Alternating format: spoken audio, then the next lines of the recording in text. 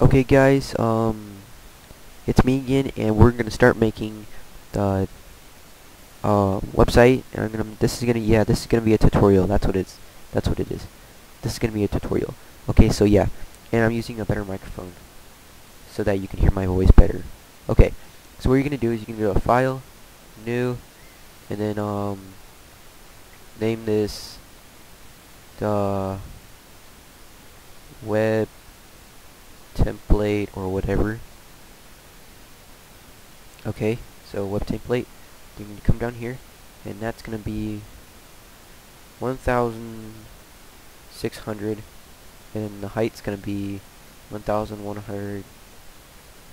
Yeah, 1,100 pixels. Resolution, you can leave that 72. Um, but you want to leave it at RGB because that's um, CMYK is like for printers, RGB colors like color like laptop screen like this kind like for web and devices and stuff like that. And then yeah, you're gonna leave it at 8-bit. Okay, and then background content's white. So, and then it should be like this.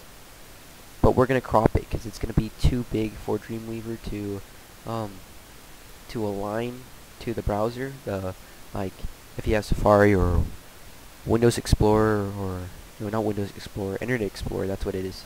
Um, yeah, sorry, I don't use any of those. I use Mozilla because, well, it's better and well better than uh, Internet Explorer. I'm not sure about uh, Chrome or Opera or Safari, but it's better and at least I don't get viruses and stuff. But yeah, so you're gonna start out with that, and then what you're gonna do is you're gonna make a new one. And you're gonna call this just whatever because we're not gonna save it. And this one is gonna be 1000 by 950 I think. No sorry I had that the other way around. It's actually this is 950.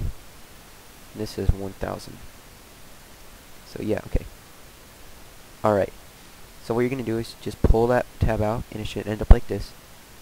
Press V, that selects the move tool. Grab that layer, the layer right here, the background layer, and then pull it and drag it onto the other screen.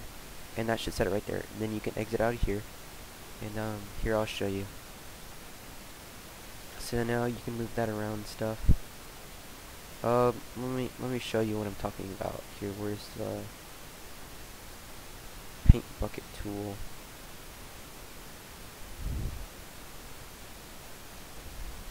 There, okay. Now you can see it. Okay. And so we want to center this real quick. So, um, how you do that? Let me just get out of that mode. You're going to select the layer, the, the middle layer, and you're going to press Control, or yeah, or Command for Mac, Control, and then you should have this little pointer thing, and then select the background. Oh wait, oh, you need to duplicate the layer first, like I said in the last tutorial, and then delete that or hide it, so. Select this layer, Control or Command click, and command click background background copy copy. And it should have all this selected. And then your controls up here. You want to select the middle one. Okay centered. And then it's centered right there. Okay. Then you can just press command D or control D. And then yeah so. So then um, what you can do is we can change that back to white so let's see here.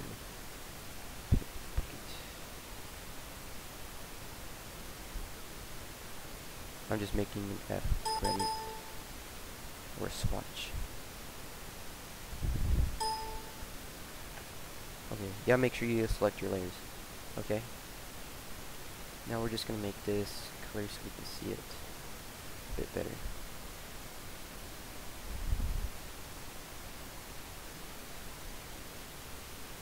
Okay, there now you can see it.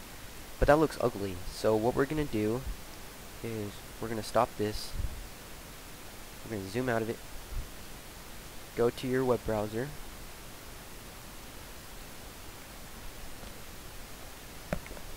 So it should be loading now.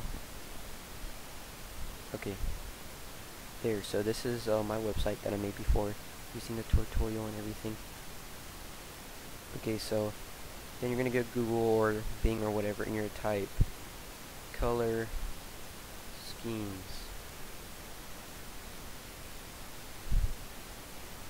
And then just go to whichever one. And then you can choose any of these colors, like popular colors. I think I like. Let's do aqua. That looks nice. And so it gives you a bunch of color combos right here. This one looks nice. I think I'll do this one. Okay, there you have it. So you got that one right there.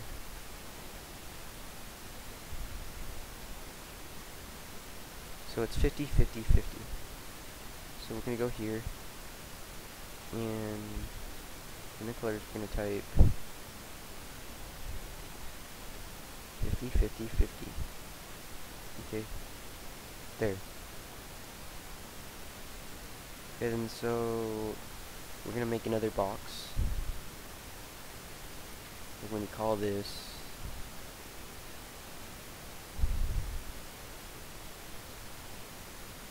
Okay, so there's your box. And the color of it is going to be uh what's the color? 12 97 93. So let's see. 12 97 93. Okay, to the top. And there you go. So that's the task bar, or that's the links bar, or the pages bar, whatever you want to call it. You're going to do the same thing as you did to align the background. So what you're going to do is you're going to type control, click layer 1, or wherever you call this layer right here, and then press V or the move tool, and just center it. So there we go. Okay, yeah.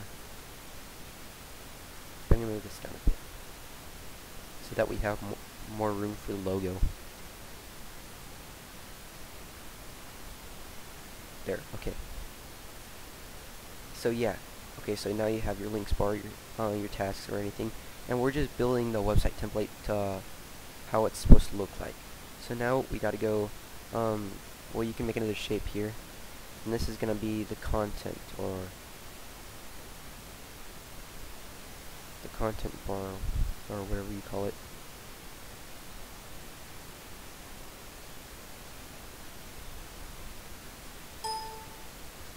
Okay, there. So then you have that.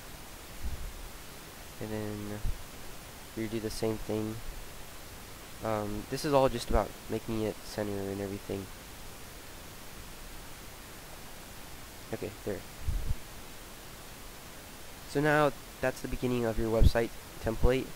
And uh, so unless you want to add like a couple of stuff, like, well, let's say well, I'm not gonna add anything, but like up here goes like the stuff like home and all that. Like home. But like in a bigger font, because that's not gonna work. So yeah, that's the beginning of the template. Um, you can put your logo up here or anything, but I suggest to do that later because it's just easier and um, so yeah Okay, then what you're going to do is you're going to select the slice tool, like I said, and you're going to start selecting all of these right here. Wait a second.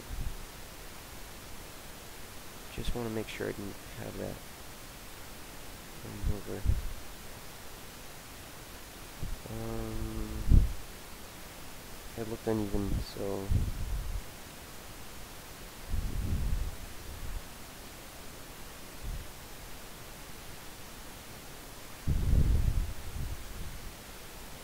not directly editable.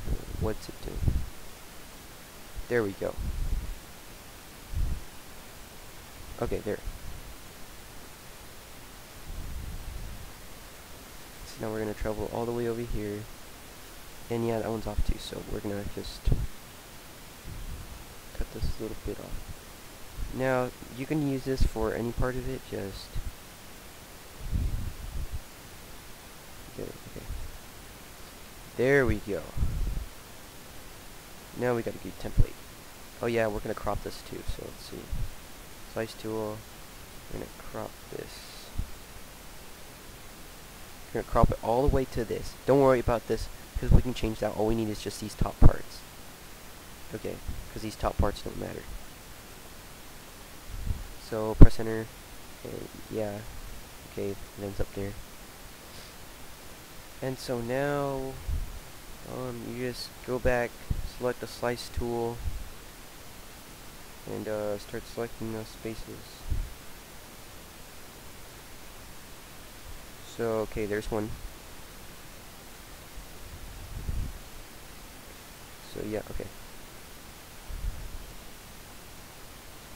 And then to select the content box.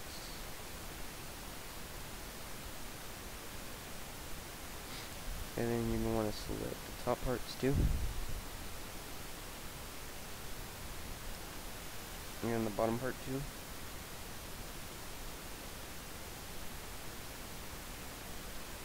Okay, and then the rest, because it's just very timely, you can just take the slice select tool, double click in the empty spaces that you haven't gotten. So no image, okay. No image. I'm just gonna make these all no images so that I can edit them. I can edit them back in um, Dreamweaver and make them what I want them to be. Unless you have like a logo or something or like a text or something, then that you want to keep a picture. Like instead of going to no image, you want to just keep it an image and then here you just call it whatever you want. But I'm going to make these all new images because, well, uh, I'll get to that part later in this tutorial. So let's see here. No image. No image.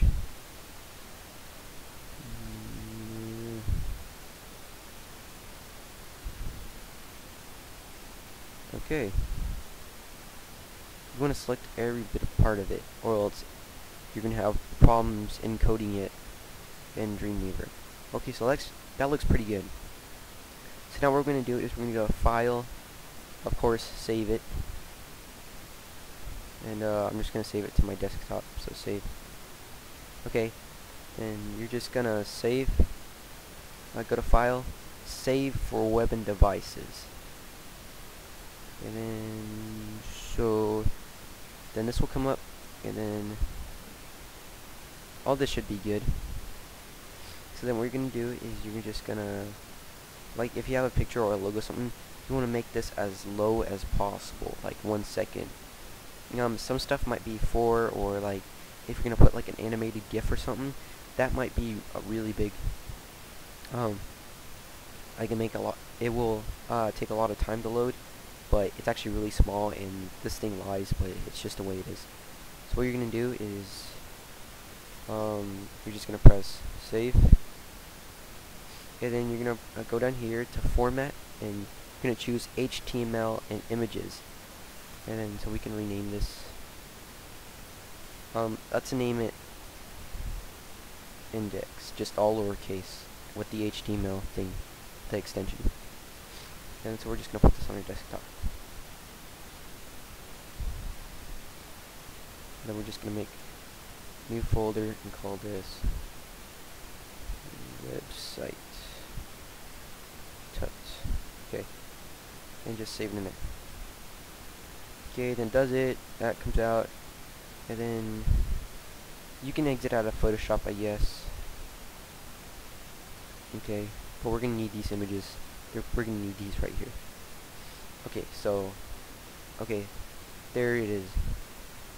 Not this. That's that's whatever. That's uh, I guess the website template. This is what you want right here. You should have your file, your HTML document, and then your images. So what we're gonna do is we're gonna go. Whoa. I think we ran.